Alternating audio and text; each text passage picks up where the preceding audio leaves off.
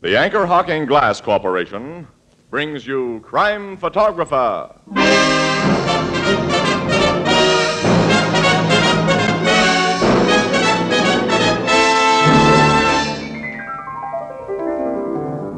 Hello, Miss Williams. Casey? Hi, Ethelbert. Ethelbert, do you know what Casey just wanted to do? What, Miss Williams? Well, they just put in a fresh cement sidewalk next door, and Casey wanted to stop and write his name in it. He'll never grow up. Well, Casey's a great name. Oh, well, I'll go you one better than that. Oh, hello, Mr. Marvin. Sure, what about Anchor Hocking? You know, Anchor Hocking is a great name in glass.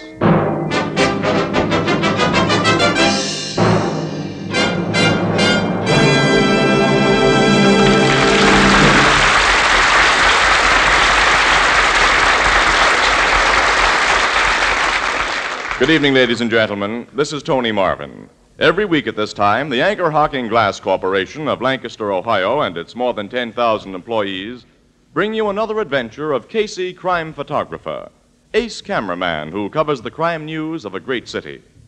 Written by Alonzo Dean Cole. Our adventure for tonight The Demon Miner.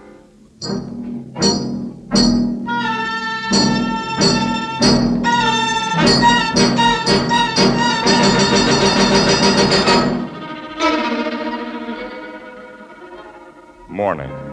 A desolate little graveyard. In the distance, beyond the gray tombstones, can be seen the stark outlines of a towering coal breaker and row upon row of coal miners' cottages. Shivering in the cold rain, a small group of men stand bareheaded. Won't be long now, Eddie. No, Frank. In a couple of minutes, they'll start shoveling dirt on poor Joe's coffin. This is the sixth time in just the last two months that you and me have come to the graveyard to watch a guy we've worked with put away. I'm thinking of that, Frank. I've known plenty of accidents to happen, but when six in a row get killed by fallen roof rock, one right after another in the same mine level, well, it makes you wonder. Yeah, especially when you're cutting out coal in that level yourself, like we are. Some of the guys say there's a hoodoo on Bristol level, Eddie. Old Gus Hapsel says there's worse than that. I've heard what that guy says, but that old guy's crazy. You think so, huh? Huh? Oh, hello, Gus. I am just stand close by and hear you talk. So you think I be crazy, Frank? Because I say a demon is kill mans in Bristol level at Slateville Colliery. Any guy who says that is crazy. You do not know what we of whole country know. I was talking to a Welchman the other night, Frank, and he said when he comes from, and he comes from plenty of miners. Uh, well, that's there's something funny that happens underground. Spirits called knockers and spriggans and, and demon miners. Oh, nuts. He, he says this demon miner works with a pick about ten times the size of ours, a pick that makes a big hollow sound. And when guys hear it, it means someone's gonna die. I have heard that pick in Bristol level. Also, I have seen the demon there. I still say nuts. It was when Nick Tanofsky got killed. I am working place next to Nick. All at once I hear big thump, thump, thump. And I hear Nick yell.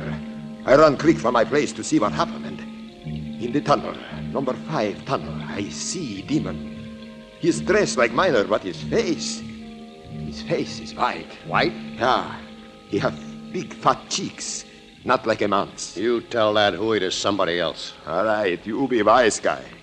But remember what I tell you. Someday in the mine, you will hear and see the demon miner.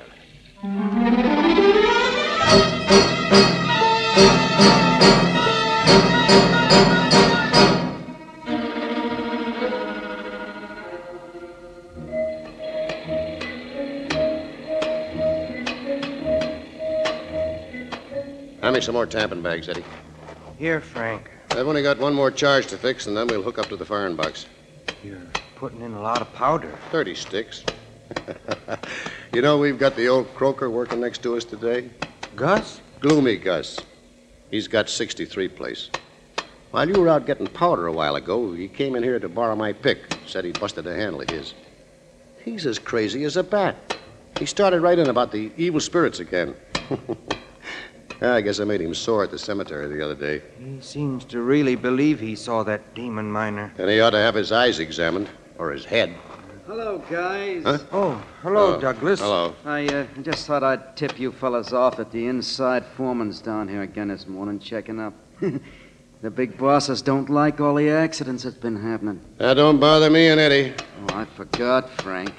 You're the one of the best boss miners we got here, and of course, you wouldn't let your little helper Eddie get careless. Now, look here, Douglas. You're supposed to be an electrician.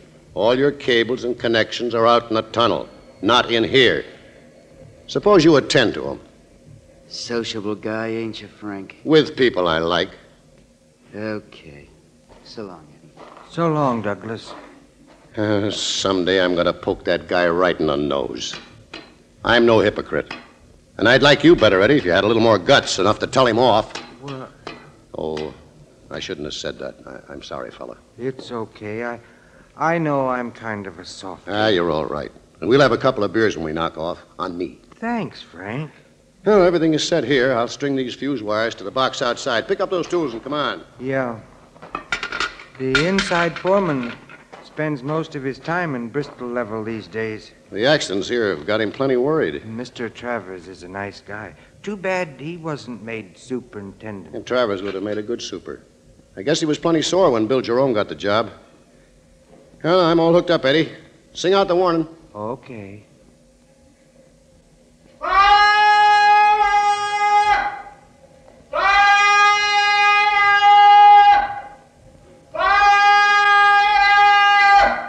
Here she goes.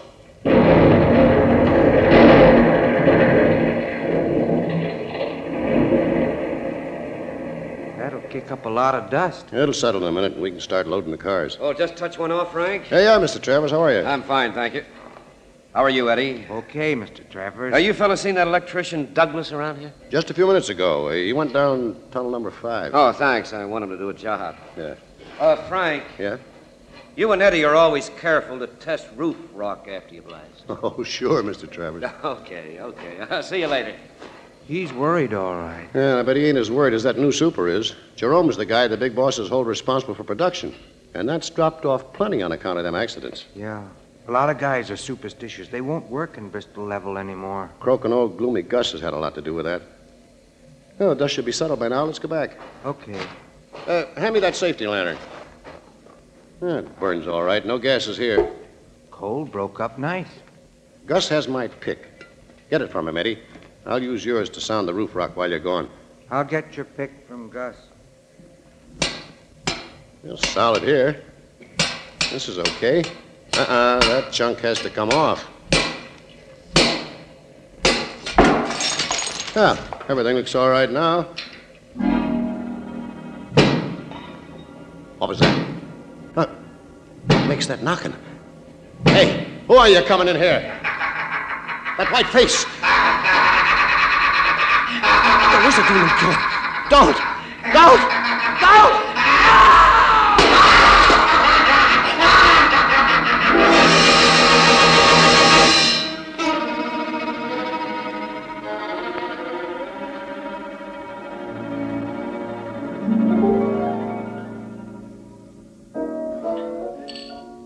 There's been a seventh peculiar death in that Slateville coal mine, huh, Casey? Yeah, happened yesterday, Ethelbert. Miner named Frank Adams was killed. Apparently by a piece of falling roof rock, like the other men before him. Yeah, and a few minutes ago, City Desk gave Annie and me an assignment to go to Slateville and look around. Mm-hmm. We're taking an early train tomorrow. Want to come along, Ethelbert? Who, me? After last week, I've had enough excitement. Oh, you're a softy. Well, you write up the story, Miss Williams, and Casey'll take pictures, huh? Oh, no, our assignment's a little bigger than that this time, Ethelbert. Yeah? The superintendent of the mine knows Casey. And while the state police have all the facts, he's asked the paper to have Casey do a little private investigating. You're going to Slateville as detectives, huh? Huh? Oh. Well, Bill Jerome, the super, knows about a couple of lucky breaks I've had working with the cops. So he's got an idea that I. Well, I don't know. When I'm in the city here, I know my way around. I've got a lot of smart, friendly cops to back me up when I make a play, but. Well, I. I don't know anything about coal mines. Afraid you won't do so good when you're on your own, huh? I think our boyfriend has a case of cold feet, Ethelbert. Huh? What? hmm Hmm. Yeah, I guess you're right, Annie. Uh, look, I'll, I'll, I'll see you for later. Uh, Where are you going? Well, I'm, I'm going to the public library. I'm going to read up on coal mines. Yeah, when I see Bill Jerome tomorrow, I won't be altogether a dope.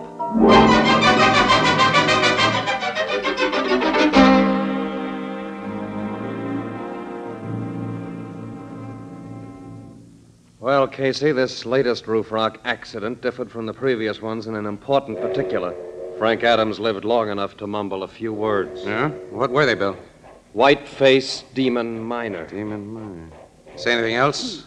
Nothing that could be distinguished. This, uh, this Gus Hapsel you mentioned, he, Yeah. uh, he described the demon miner before as having a white face, didn't he? Yeah, after Nick Tarnowski was killed. Yes, and this, this thing was dressed in miner's working clothes and had very fat cheeks. Yeah. Well, who was the first to reach this miner, Frank Adams? Gus Hapsel was. He usually worked next to Adams, but he'd gone to borrow a pick. Gus says he heard Adams scream and he hurried back. Yeah, was Eddie Bliss the second to reach Adams? Yeah. A few seconds later, he and Gus were joined by one of our electricians, a man named Douglas, and George Travers, our inside foreman. Gus claims that after the scream, he saw a shadowy figure disappear into a passage off number five tunnel. He's sure it was the demon miner. Where were the other two men? Douglas and Travers were in number five tunnel, too, but at a considerable distance from each other. Uh-huh. You've got to find out what's in back of this, Casey. Hmm. The demon miner theory's ridiculous, of course, but it's ruined morale, cut production in half. Now that Adams' dying words apparently confirm the demon story, now we're in for further trouble. Yeah. Well, just one more question, Bill. Huh? Uh, like on previous occasions, was a large piece of roof rock found near the dead man's head? Yeah, a slab of rock that'd take three or four big men to lift. Three or four? Yes, Miss Williams. As in the other cases, Adams' hard hat had been crushed and his skull fractured. What's a hard hat, Mr. Jerome? Well, it's. the- Uh, it's the miner's name for the protective helmet he's required to wear, Annie. oh. Yeah, yeah. I, I know a little bit about mines and miners. Hmm. Library. Well, we'll go down to the mine, Bill, to Bristol level. I Yeah, guess. I'll arrange for it right away. My inside foreman's waiting in the other office. Uh, George, come in, please. Okay, okay, Jerome. Miss Williams, Mr. Casey, this is Mr. Travers. How do you do, How Mr. do you do? Travers? I don't know you. Nice to know you. I've uh, told you about these friends of mine, George. They want to get acquainted with Bristol Level. I- I'd like you to be their guide. Well, all right. Uh, Mr. Travers, what's your opinion of these accidents and the demon miner? Same as mine, Casey. Both are phony. Why don't you let me speak for myself, Jerome? Well, George. I never went to college like you, but I grew up around mines. My father was a miner in England. He's told me about strange, unexplainable things that happened there, and. Well, I'm. I'm not sure that there aren't demon miners. What? You're not serious. You can quote me if you like. Miss Williams, Mr. Casey, I'll get you overalls, hard hats, and lamps. Travers is a nice fellow, Casey, but well, he thought he should have had the job I got. I see. Yes. I want to become better acquainted with Travers. Yeah. Meet Douglas, and Eddie Bliss, and old Gus.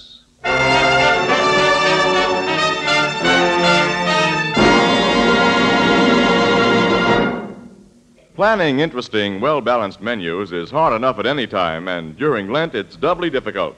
But here's one more occasion when Fire King Oven Glass comes to the rescue. All sorts of delicious, nourishing meals can be planned around a single big Fire King Oven Glass casserole dish. Macaroni and cheese, baked with milk and covered with a magnificent crown of golden cracker crumbs. Old fashioned New England baked beans with a rich brown molasses sauce. Scalloped oysters, and literally hundreds of other mouth-watering main courses. Fire King Oven Glass is a must in American homes for these four all-important reasons. It simplifies the planning of meals. It simplifies housekeeping because it cuts dishwashing time by a full two-thirds. It saves the precious vitamins which are boiled out of foods in top of the stove cooking. And its cost? Well, it's incredibly low. Ask for Fire King Oven Glass at your favorite chain, variety, hardware, or department store. Each piece is guaranteed for a full two years against oven breakage. Beautiful, practical, inexpensive Fire King Oven Glass is a product of Anchor Hocking. A great name in glass.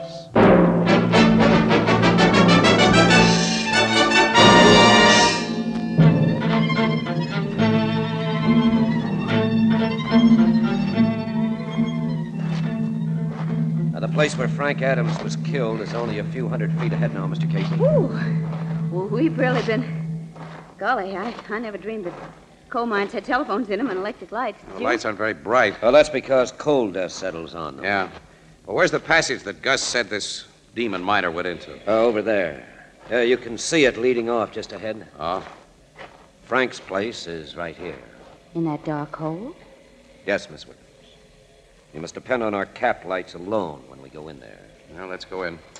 Here, Annie, I'll help you. It's kind of rough going. Okay, thanks. Now, Frank and his helper had just blasted a face before he was killed. Naturally, the coal's heaped all over. Jerome gave orders not to let anything be touched. Here we are. Yeah. Show me where you found the dead guy. There. You can see the blood stain. Uh, is this the slab of rock that's blamed for the death? Yes. Must weigh half a ton, Casey. Yeah, at least. That you in there, Travers? Yes, who? It's me, Douglas. The Oh. super phoned down for me to meet you here. Where's Eddie Bliss and old Gus? How should I know? They supposed to be here, too? Yeah, yeah. Oh, this is Miss Williams and Mr. Casey. Bert Douglas. How, do you do, Mr. Douglas? Look, if you're a cop, Mr. Casey, I might as well tell you right now. I don't know anything about those accidents. You think they've been accidents, Douglas?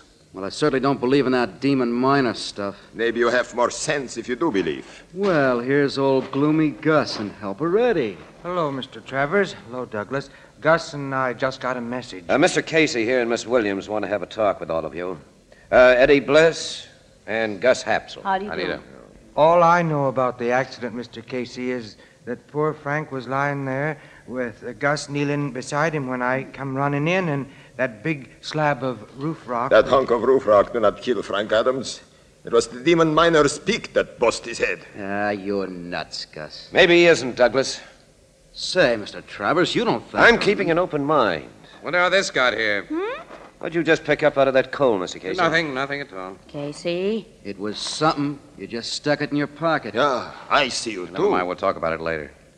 Well, now there's no reason for me to keep you from your work. You can go ahead. Go after we just got here? Yeah, Douglas. Yes. I want to talk to all of you again about an hour from now. Uh, okay. Going down number five, Eddie? Yes, Douglas. Come on. This is screwy. Taking that guy off his job and. You want talk with me later, huh? Yes, Gus. All right. I go back to work. Mr. Casey, I don't quite understand. Look, I'd like to examine this place with Miss Williams alone, Mr. Travers, if you don't mind. Well, you want me to go, too. Yeah, if you don't mind. Only outside in the tunnel for a few minutes. I'll call you when I'm through here. All right, I'll wait for your call. What's this all about, Casey?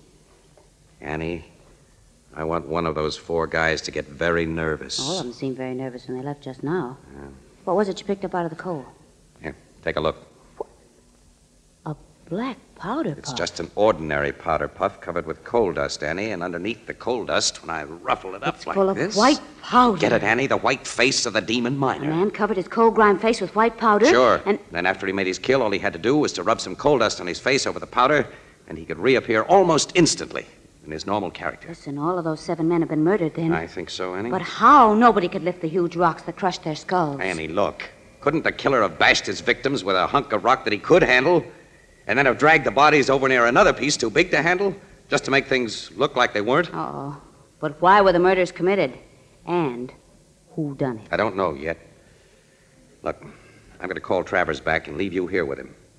With the excuse that I want to explore some of those side passages alone, which I do. After that, I'm going to make whoever dropped that powder puff a very nervous guy.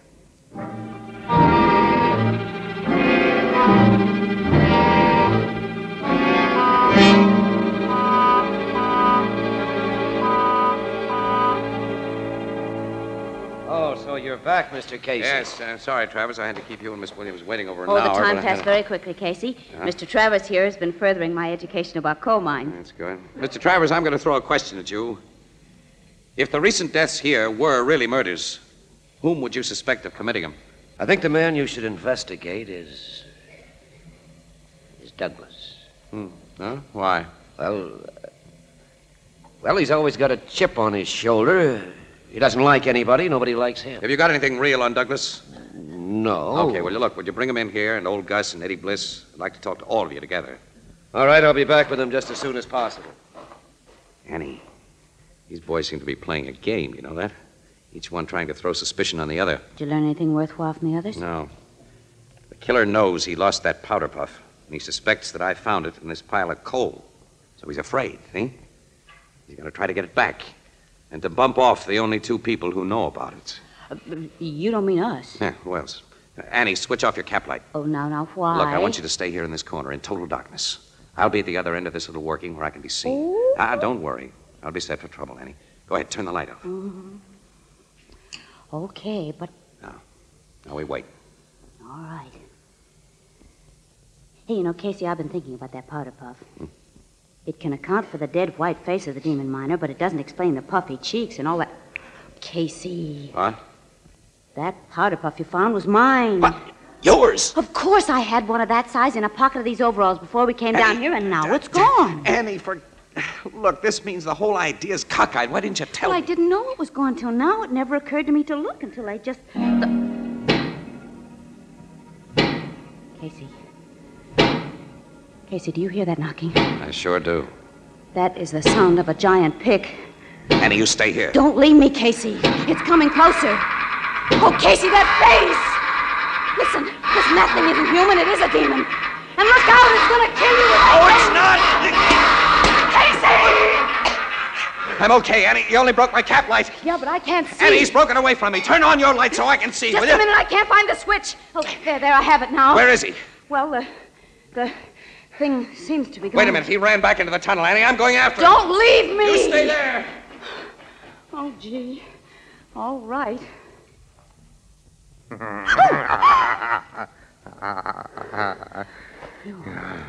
I didn't run into You the tunnel. I was behind this pile of coal. Don't you come any closer to me. Mm-hmm. Keep away. Don't! Don't! Please!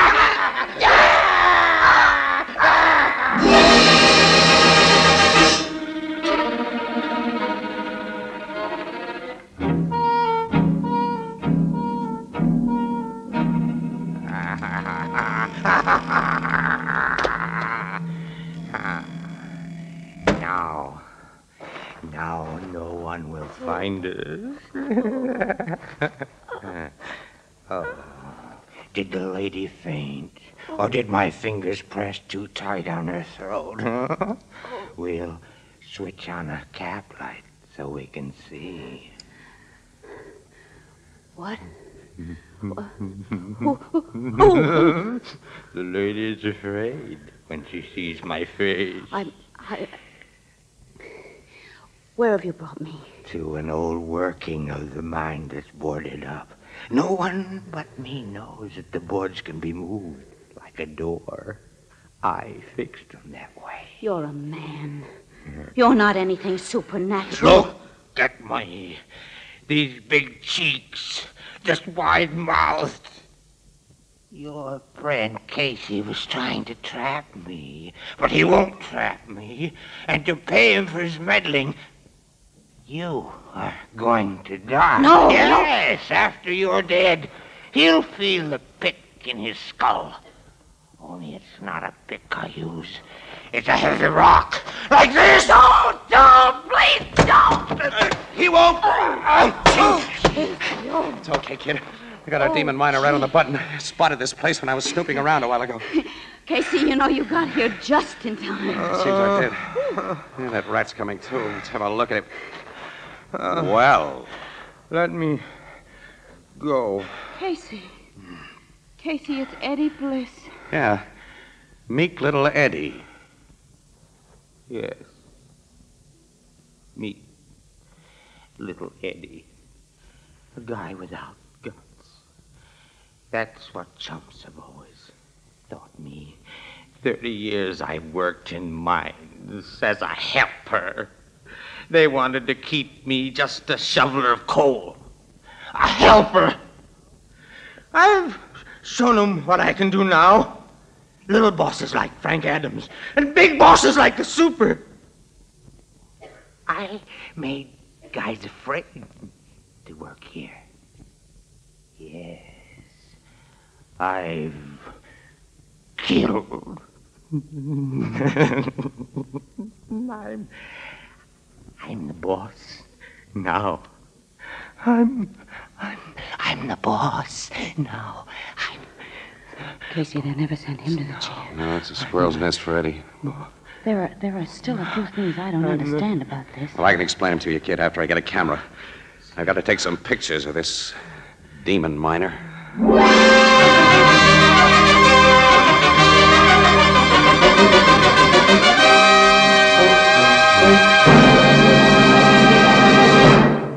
You know, I was brought up on a farm, and we used to figure we were pretty lucky, particularly when we thought of the people who lived in the cities. Why, all year round we enjoyed fresh food fish from the lake below our farmhouse, caught through the ice in the wintertime, and fresh vegetables from the vegetable cellar, magnificent hams and sausages during the slaughtering time after Christmas.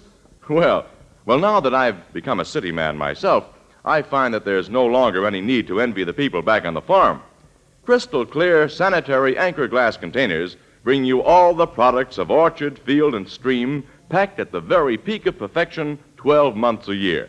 And then, too, glass lets you see exactly what you buy before you buy it. Glass containers preserve their contents perfectly with no effect on taste or flavor. They're easy and safe to open and can be resealed to protect the unused portions. Anchor glass containers and easy to remove anchor vacuum caps, so widely used for the packaging of foods of all kinds, are products of Anchor Hocking. A great name in glass.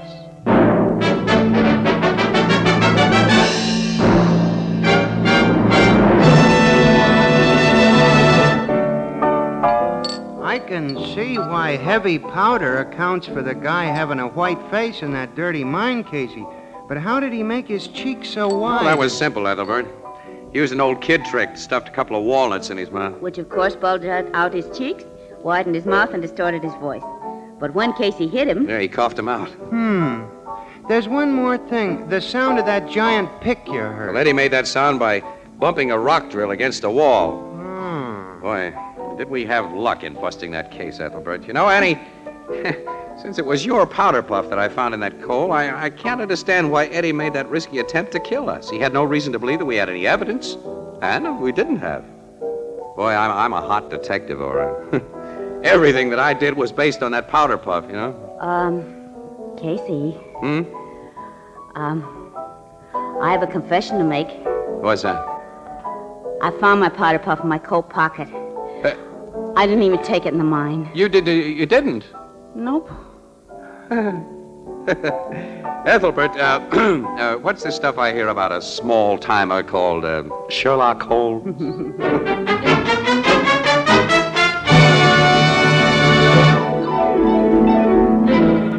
Crime Photographer, starring Staats Cotsworth as Casey, is brought to you each Thursday by the Anchor Hocking Glass Corporation, makers of Fire King Oven Glass. Anchor glass containers, anchor caps and closures. All products of the Anchor Hocking Glass Corporation, a great name in glass.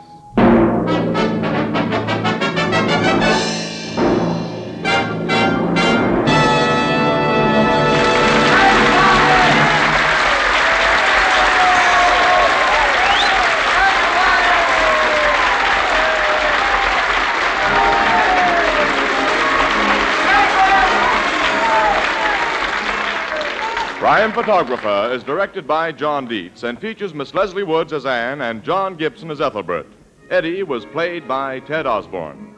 Thursday night on CBS is the biggest show in town, so stay tuned for exciting dramatizations on Reader's Digest Radio Edition, which follows immediately over most of these stations. The Red Cross carries on for veterans, for military hospitals, and for all communities in time of disaster. You can help by giving generously now. This is Tony Marvin saying goodnight for the Anchor Hocking Glass Corporation of Lancaster, Ohio, the world's largest maker of household glass. This is CBS, the Columbia Broadcasting System.